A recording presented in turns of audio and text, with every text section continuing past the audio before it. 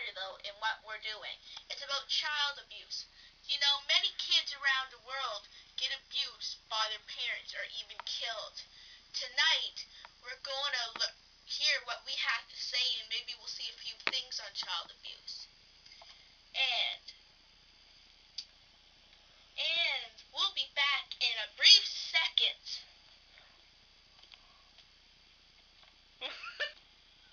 so, what do you think about child abuse?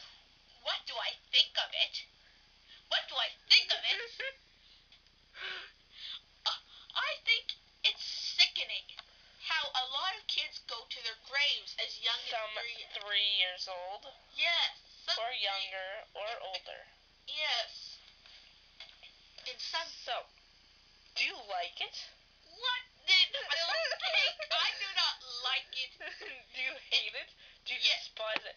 Do you want it to disappear and never come back? Yes, that's what my wish is. My hope is if anyone sees this, that they'll realize how sick and wrong it is. I agree. Yes. Now, do you love me? It has nothing to do with it, but yes, you're my best friend, and now back to serious matters. okay, okay, okay, okay. What would you do if your bestest, bestest, bestest, bestest friend was abused? Well, the first thing I'd do is go report it to the police or tell my parents about it. And then I'd take you into my house. Awesome. Yeah, don't get any ideas. But I mean, I wouldn't allow it to do anything. I wouldn't get up close to your parents personally, or the best friend's parents personally.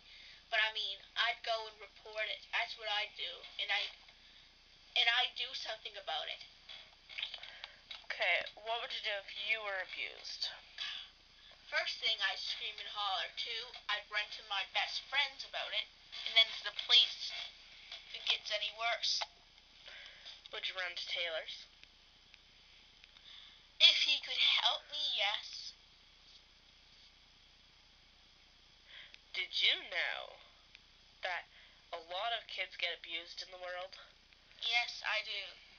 And I wish there was a way to reduce it to zero, but Me too. just, yeah, I'm just doing what I can. Excuse me, sorry people on April and Haley cam thingy. Yeah.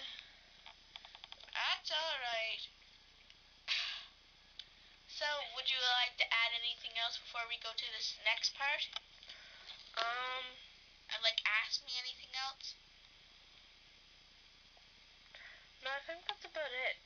Thank you for your time, Haley. You're welcome. Miss um Westerman.